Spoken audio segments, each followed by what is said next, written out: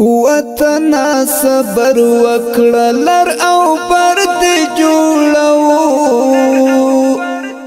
د ریاست الوزرا اقتصادي مرستیال محترم ملا عبدالغني برادر خوند په مشرۍ لوړ پوړی اماراتي پلاوی د ایران اسلامي جمهوریت له خپل شپږ ورځني سفر وروسته نن د جمعې ورځ د روان لمریز کال د عقرب میاشتې په نولسمه نیټه بیرته کابل ته راستون شو د ریاست الوزرا اقتصادي مرستیال په کابل نړیوال هوایي ډګر کې خبري کنفرانس ته د خپلو خبرو پر مهال وویل، ایران ته مو د خپل سفر پر مهال له لوړ پوړو ایراني مسؤلینو سره وکتل او پر هغه سربېره مو له چابهار بندر یو شمېر صنعتي او تولیدي فابریکو څخه هم لیدنه وکړه. زموږ د سفر موخه دا وه څو بهرنیو هېوادونو ته د افغاني توکو د صادراتو او وارداتو د رسولو اسانه او ارزانه لار پیدا کړو چې په دې سره به د افغانستان سوداګري زیاته شي. محترم ملا صاحب د خپلو خبرو پر مهال زیاته کړه چې د دغه سفر پر مهال مو د ایران له حکومت او خصوصي سکټور سره د سوداګرۍ، صنعت، ترانزیټ، کرنې، کانونو، نفت او ګازو، سرحدي مسایلو، روغتیا، ترانسپورت، اوسپنې پټلۍ او مخابراتو او معلوماتي ټکنالوژۍ په برخو کې یو شمېر تفاهم نامې لاسلیک کړې. د محترم ملا صاحب په خبره دا د دواړو هېوادونو لپاره په صنعت او سوداګرۍ کې لویه لاسته راوړنه ده.